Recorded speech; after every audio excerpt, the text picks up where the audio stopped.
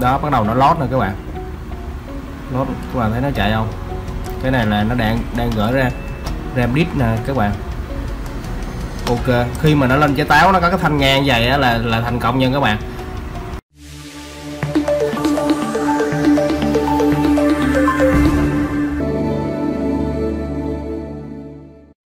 Alo, xin chào các bạn.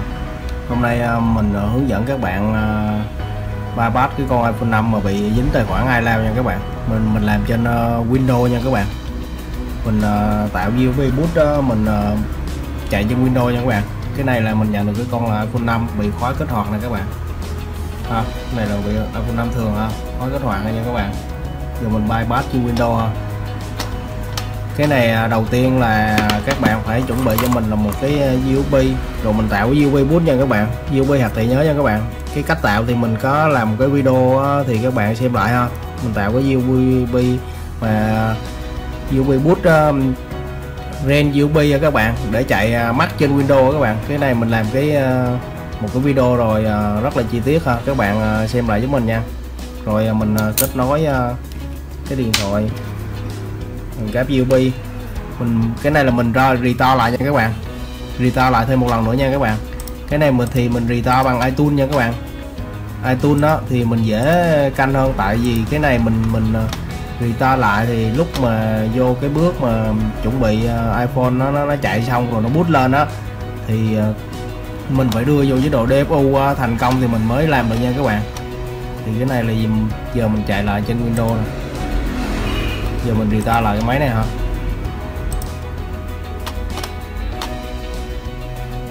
Cái này là nó bị uh, dính tài khoản này nha các bạn. Dính này lao nè.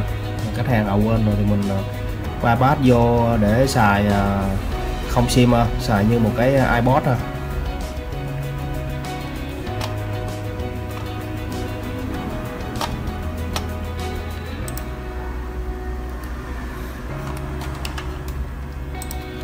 rồi cái này thì mình chọn phim que mình chạy thôi các bạn. Rồi mình tiến hành restart hơn cái này các bạn để ý nha khi restart xong á thì uh, đừng có để uh, iPhone nó nó nó nó boot lại nha các bạn. Thì nó vừa boot uh, chuẩn bị boot đó là các bạn đưa vô DFU ha.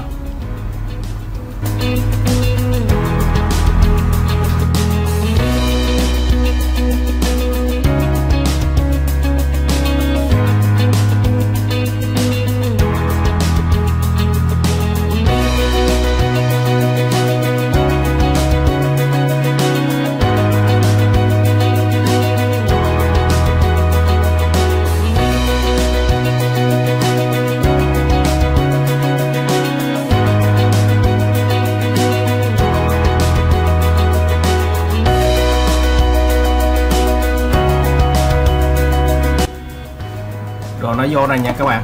Nó chuẩn bị đếm đếm này nha các bạn. Thì giờ các bạn chờ cho cái nó hiện chữ táo rồi các bạn bấm phím nguồn với phím home đưa vào DFU nha các bạn. Đừng có cho nó bút lên nha các bạn. Các bạn làm nhanh tay tay rồi, nó sụp nguồn nè. Các bạn đếm khoảng 1 2 3 rồi các bạn buông phím nguồn ra, giữ phím home. Để vô chế độ DFU nha các bạn. Đó, nó vô chế độ DFU này các bạn thì nó nhận thường thường chế độ demo là cái số series number là nó không có hiện lên nha các bạn. Hoặc là các bạn cài cái kiểu mà USB ờ, cái USB ờ, bảo vệ USB thì nó sẽ hiện ở đây nha các bạn. Nó hiện cho các bạn biết là chế độ demo nha. Rồi. Bây giờ mình ờ, gắm cái USB boot vô các bạn. USB boot mà các bạn đã tạo á, để mình chạy mắt trên Win ha.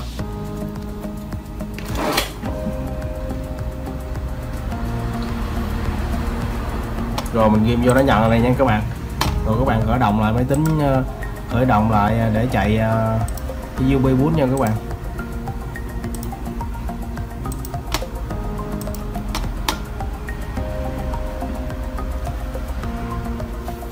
Thì hiện tại thì cái iPhone nó đã kết nối được chế độ DPU rồi, chút nữa mình mở cái tool lên rồi mình mình kiểm tra lại rồi mình bypass.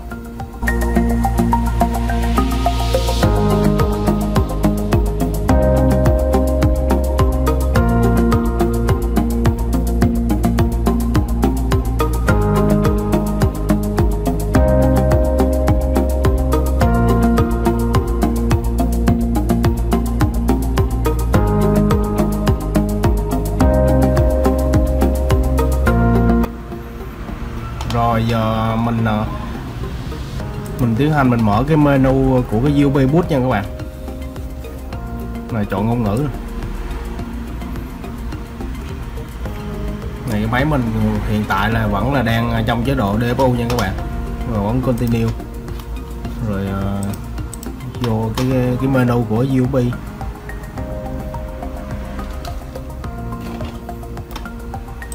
những cái dòng à, iPhone 5 mà mình bypass đó lúc trước là hầu như chỉ làm được trên à, uh, macOS thôi nha các bạn.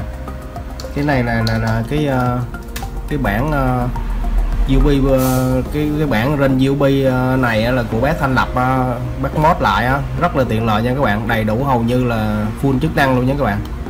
Mà đều chạy được Windows. Cái này là mình hướng dẫn các bạn là bypass uh, iPhone 5 ha chạy trực tiếp trên Windows luôn nha các bạn đây nó có menu nó có rất là nhiều cái tùy chọn ha. Các bạn làm cái lệnh nào thì các bạn bấm tương ứng lệnh đó ha. Đây là mình làm là cái cần bypass iPhone 5 là chip là A6 ha mình bấm số 1 nha các bạn.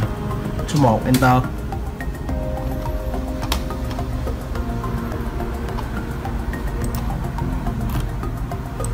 Đó là các bạn thấy không? Là, là, là nó vô cái sim silver nè. Để mình kéo ờ, cái này mình để cho các bạn dễ nhìn ha. Nó chạy cái lệnh silver nè thì cái này á, là cái iPhone 5 á, là chip A6 nha các bạn. Nếu các bạn không biết cái iPhone ờ, 5 là chip gì thì các bạn cứ bấm đại vô mấy cái này đi là nó sẽ hiện ra nè. Các bạn thấy không? Mà cái này đâu có iPhone 5 đâu. Cái nào có iPhone 5 thì các bạn chọn ha A6 nè iPhone 5 các bạn chọn iPhone 5 rồi cái này là enter cái chế độ đây là để nó test coi thử cái máy mình có vô chế độ DFO chưa các bạn. Các bạn bấm ok không rồi nó sẽ lót nè này, nó nói như vậy là ok nha các bạn. Nè, máy của bạn bây giờ là đang ở trong chế độ DFO mode nha các bạn. Các bạn nhấn ok ha. Rồi các bạn nhấn lót nè. Để chế độ mặc định này luôn luôn nha các bạn. Các bạn bấm lót nếu mà ờ, lúc các bạn bấm enter vô chế độ DFO mà nó bị lỗi á, thì các bạn tự bấm nút nguồn với nút home lại ha. Cho nó lên chế táo rồi các bạn thả tay ra, rồi vô lại DFO các bạn thử lại nha đó, bắt đầu nó lót rồi các bạn. Lót, các bạn thấy nó chạy không? Cái này là nó đang đang gửi ra ram disk nè, các bạn. Ok, khi mà nó lên trái táo, nó có cái thanh ngang dày á, là là thành công nha các bạn. Rồi các bạn bấm lệnh là relay nè. Rồi các bạn để bấm lệnh relay. Ok. What it rồi xong các bạn bấm lệnh delete setup rồi bạn. Lệnh cuối cùng là các bạn bấm cho nó chạy ha rồi bắt đầu iPhone của mình nó là tự động nó ờ, xóa sạch dữ liệu nó chạy lại. Này nó ghi là các bạn ba bát đo này nha các bạn. Thấy không? Ba bát đo rồi rồi các bạn chờ nó là chờ nó active lại không? Là nó nhảy vô menu luôn nha các bạn. Ok. Cái này á, thì khi mà nó vô trong rồi á thì cái trừ khi mà các bạn restore lại nó mới dính màn hình active dính ai lao lại nha các bạn. Còn các bạn xóa dòng hai gì thì nó là vẫn vô menu bình thường nha các bạn. Cái này mình test rồi hả? Rồi cái này là bước này thì các bạn đợi cho nó chạy xong là nó vô trong thôi. Rồi các bạn nhập uh, tài khoản tải gì rồi bình thường hết nha các bạn. Có điều là xài như một cái AirPod ừ, iPod thôi là không có nghe gọi được ha. Cái này là iPhone 5 nha các bạn iPhone 5 thường ha. Ừ, các bạn xem video cảm thấy hay thì uh, uh, like đăng ký kênh và chia sẻ giúp mình ha. Uh, các bạn uh, để lại bình luận uh, bên dưới uh, có gì thắc mắc để lại bình luận thì mình sẽ trả lời nha các bạn xin cảm ơn các bạn. Xin chào.